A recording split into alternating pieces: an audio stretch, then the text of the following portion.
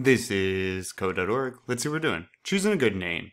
It's important for images to have good names. One that are easy to understand and use characters that are good for links. This project's images have some name problems. Do this. For each image, fix the name according to the following rules. Yet you want to avoid weird characters and names, especially because they're interpreted weird by computers. It can break everything. So let's not use the ampersand, question mark, percent, slash, or parentheses. Make sure the name has a specific meaning that helps you know what it is.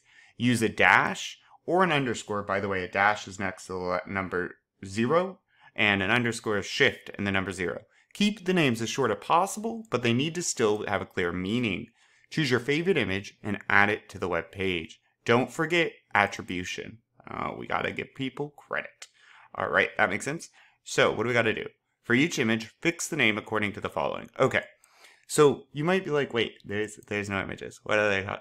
We have to go over here, and these are the images, right?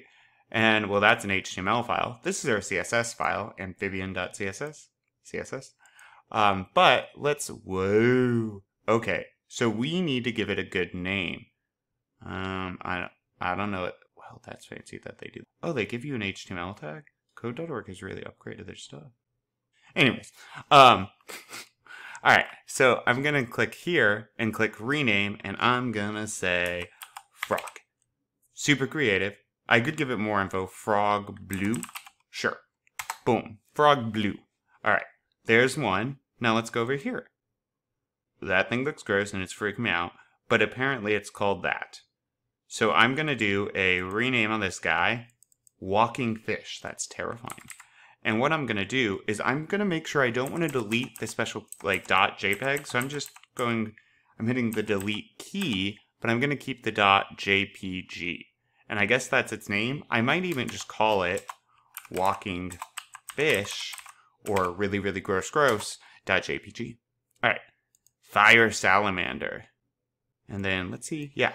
So this is an explanation point, and we don't want that. So I'm gonna click here and click rename. It's a special character that we don't need. I'll just get rid of it. All right, what else we got? Frog. I don't, do they tell space they're fine? Ugh. Oh, instead of spaces. Good. Okay. I forgot. Don't use spaces in coding stuff, guys. Just don't. Um, thank you, Code.org, for saying that. Uh, but, uh, there we are.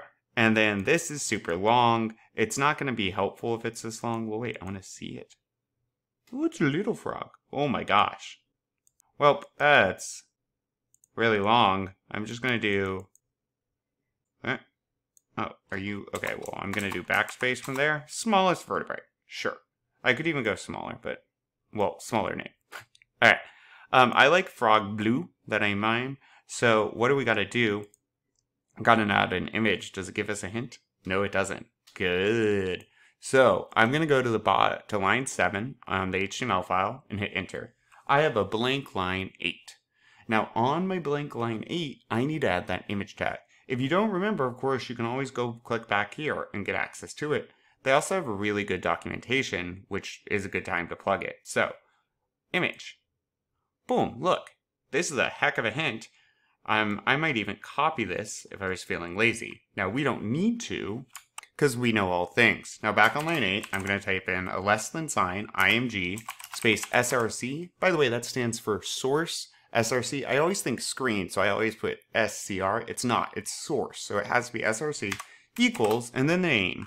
Oh, look, and let's be lazy. We can pick from the dropdown and it will autofill with quotes for us. I was going to do frog blue. Guys, if you write frog blue, first of all, you should think of a better name. Second of all, you cannot have something unless it is over here as well. So frog blue is over there for me. And then alt equals uh, frog that is blue. Not the best alt tag. Maybe I'll just say a blue frog. You get the idea. You just want to explain the image a bit.